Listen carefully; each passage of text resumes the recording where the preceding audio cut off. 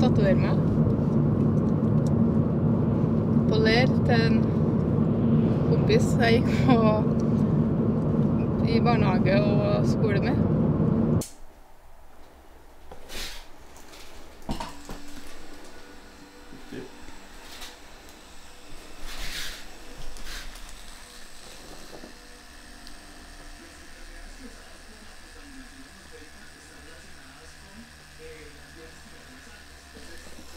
Du syntes ut?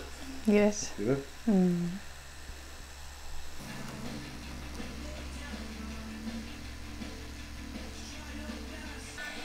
Men det er artig å komme og prøve deg nå, har jeg lyst til. Og stø støtte deg i det du vil.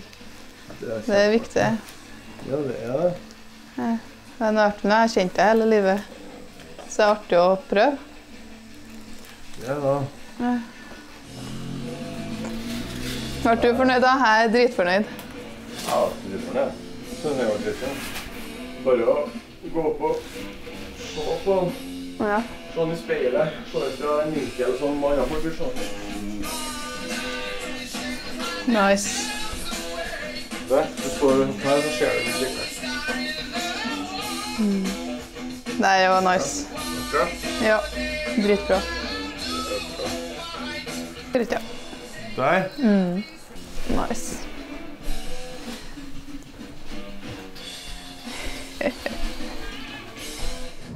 Nei, det, det var endelig jeg har tatt den nye tatoveringen. Det føles digg. Og han var kjempeflink, han òg. Han skal anbefale til flere. Så jeg får ut flere ganger, skal jeg i hvert fall.